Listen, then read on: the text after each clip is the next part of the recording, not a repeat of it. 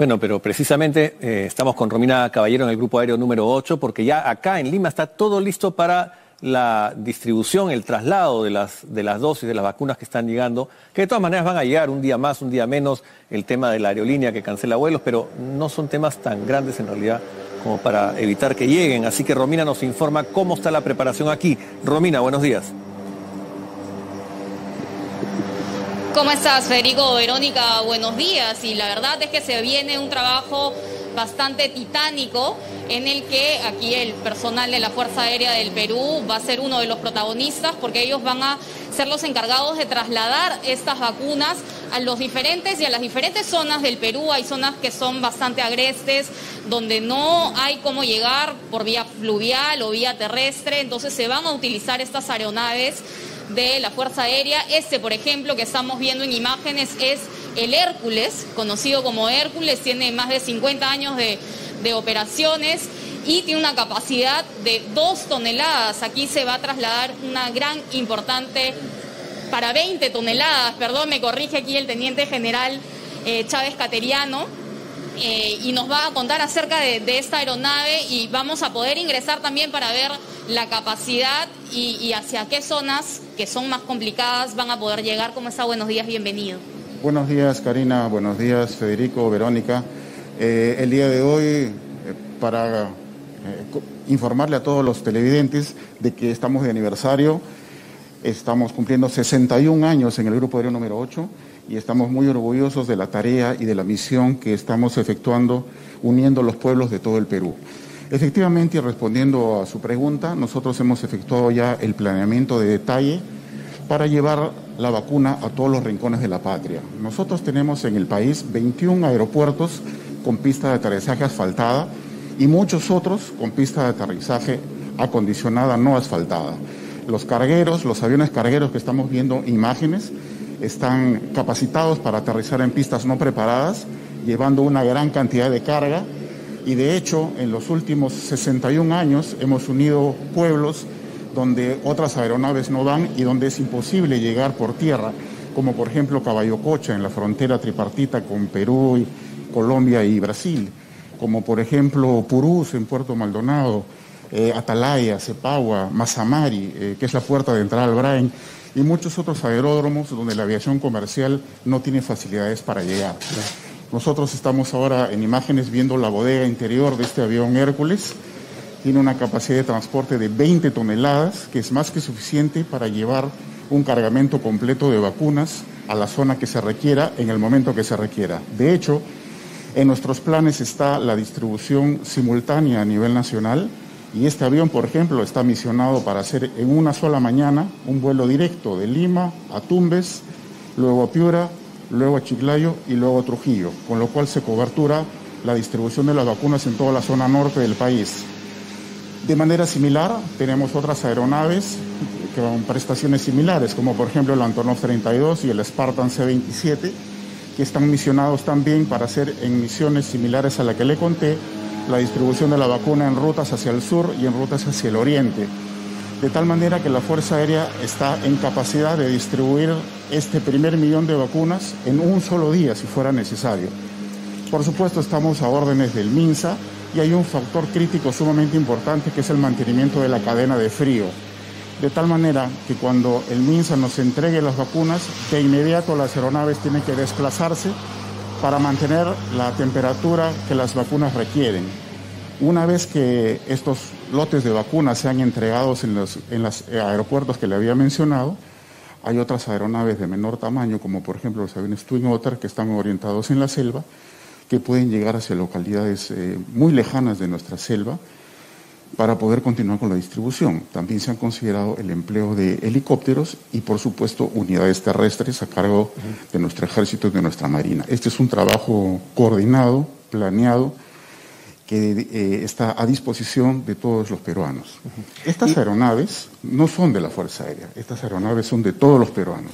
Por lo tanto, los peruanos tienen derecho a ser asistidos por el Grupo Aéreo número 8, por estos aviones, por estos pilotos, por estos técnicos y suboficiales que trabajan aquí desde hace seis décadas, llevando ayuda y desarrollo a todos los rincones de nuestro país. Acabamos de salir de esta aeronave que es Hércules, pero ahora estamos dirigiéndonos a otra de menor capacidad. Caminan hacia la otra nave. Pero eh, que también va a ser utilizada.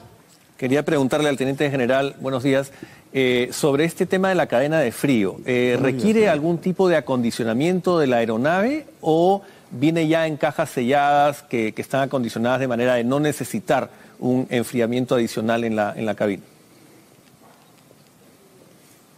En realidad, la vacuna de Sinopharm eh, requiere poco frío, eh, según tengo entendido son menos 5 o menos 7, por lo cual los contenedores son autosoportados y pueden eh, resistir este frío durante el traslado. No habría mayor problema. Hay otras vacunas que requieren un frío superior, menos 50 o menos 70 grados, para lo cual tendríamos que tener ya contenedores especialmente acondicionados pero eso será un tema que se va a discutir más adelante. Claro, pero es el, contenedor que entra en la nave, digamos. La nave misma no tiene que ser acondicionada. de acuerdo a lo que nos diga. Sí, pero entonces me queda eh, claro que... No es necesario acondicionar las naves para esta primera fase del traslado. Correcto, correcto. Y quería hacerle otra consulta, eh, general. ¿Qué tipo de coordinación es la que se ha realizado con, con el Ejecutivo? Porque llama particularmente la atención que ayer se ha informado que no sabemos cuándo llegan las vacunas, pero ustedes están listos. O sea, existe la posibilidad, se les ha informado, ¿estén listos porque de repente llegan el fin de semana? Bueno, en realidad el planeamiento para la distribución de las vacunas se ha empezado el año pasado. Esta es una tarea compleja que nosotros hemos desarrollado de manera muy profesional y muy delicada teniendo en cuenta la cantidad de medios disponibles, de aeronaves disponibles y la cantidad de material por distribuir a todas las regiones y a todos los rincones del Perú. De tal manera que cuando la vacuna finalmente llegue mañana, pasado o el fin de semana, a la hora que sea y en el momento que sea, nosotros recibiremos el encargo del Ministerio de Salud, el encargo del gobierno de hacer la distribución de este elemento vital que se ha convertido ahora en interés nacional para poder cumplir con la distribución de la vacuna y empezar finalmente a llevar la salud a todas las personas que lo necesiten ahora y durante todo el tiempo que sea requerido.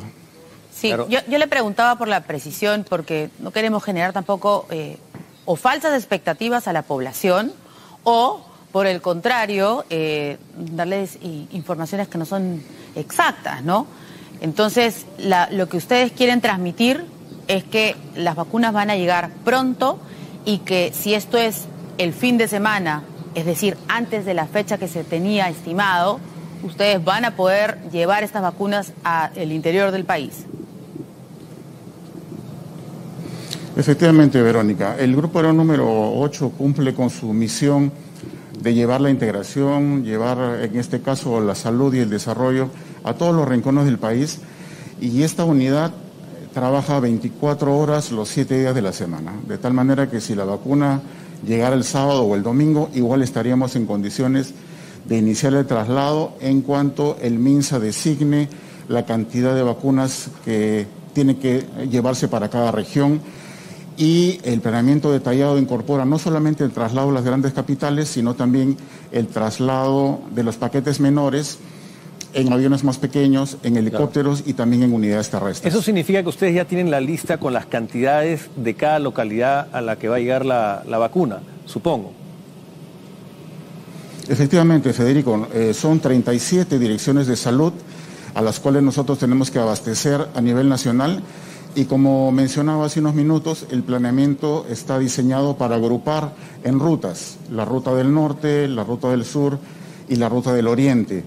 Eh, este planeamiento ya ha sido previamente efectuado y ya lo tenemos diseñado, las tripulaciones ya han sido designadas y estamos simplemente a la espera de que el embarque esté listo para la distribución en cuanto el gobierno nos lo disponga. Una pregunta, el vuelo que viene es un vuelo comercial, eh, pero ¿va a aterrizar en el grupo aéreo número 8 o va a aterrizar en, Jorge Chávez? Por procedimientos de desaduanaje, la, aeronave debe aterrizar eh, principalmente en el grupo aéreo perdón, en el aeropuerto internacional para pasar lo que se llama el clareo de aduanas y migraciones eh, e inmediatamente se va a proceder con el traslado de las vacunas hacia eh, los almacenes de Cenares en el Callao.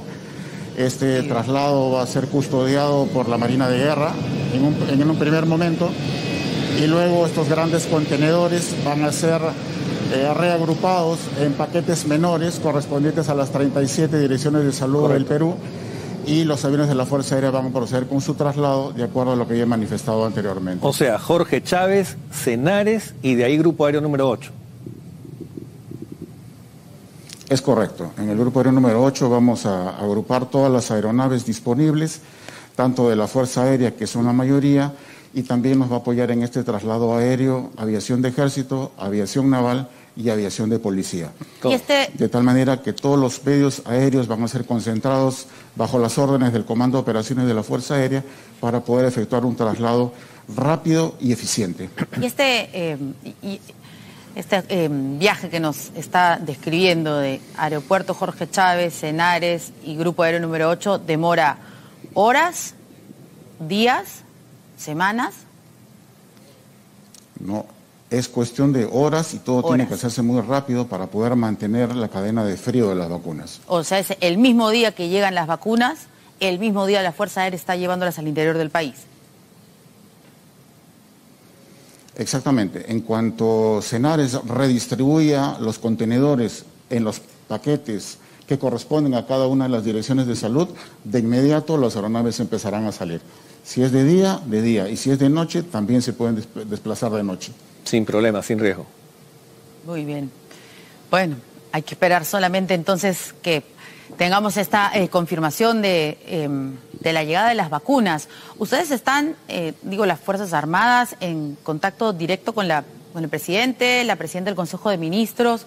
¿Cuál es el, contacto con quién para poder estar atentos, no? Porque se suponía que venían el martes de la próxima semana, ya nos han dicho que no. Eh, hay información que podría llegar el domingo.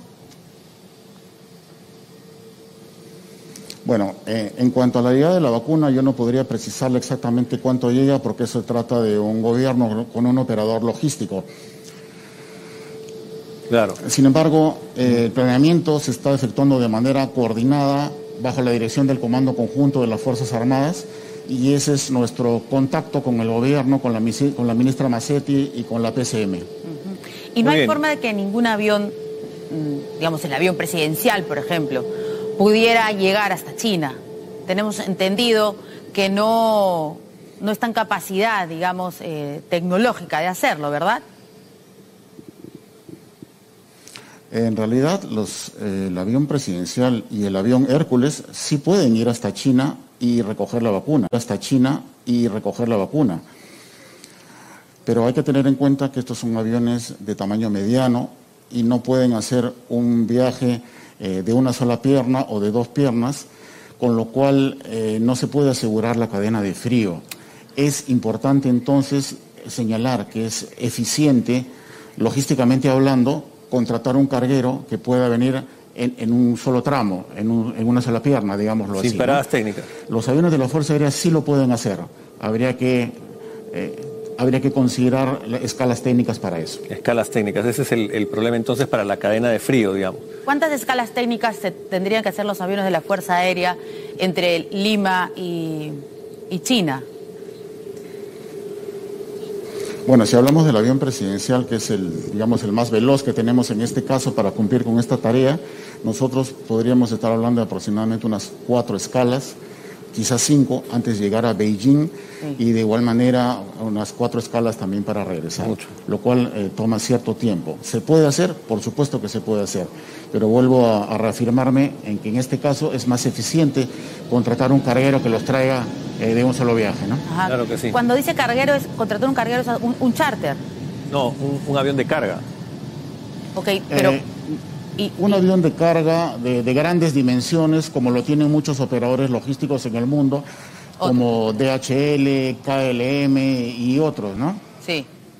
Ok. ¿Y, pero, ¿y hay formas de, alquilar también un, charter?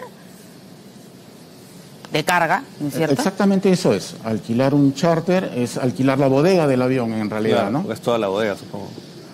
Muy bien. Muy bien. Muchas gracias, Teniente General, muchas gracias a las Fuerzas Armadas, a, la FAP en particular. Eh, y bueno, qué bueno saber que están ustedes listos ya para el operativo. Muchas gracias, buenos días. Gracias por la precisión. Gracias, Romina. Gracias a ustedes y un mensaje desde el corazón de la Fuerza Aérea para todos en el 61 aniversario del Grupo Aéreo número 8 al servicio del país. Un saludo para todos ustedes. Gracias. 7 con 58, vamos con otras informaciones, vamos al ámbito...